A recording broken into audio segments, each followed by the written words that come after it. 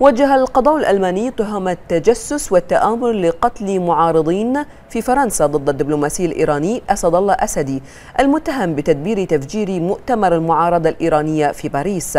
ووفقا لموقع شبكة دويتشه فيله الألماني فقد كان أسدي والذي يعمل في سفارة إيران بالنمسا قد اعتقل في ألمانيا بداية يوليو الحالي. واتهم ممثلو الإدعاء في ألمانيا الدبلوماسي الإيراني بالعمل كجاسوس أجنبي والتآمر للتخطيط وارتكاب جريمة قتل فيما يتصل بمؤامرة تفجير ضد اجتماع المعارضين الإيرانيين في فرنسا.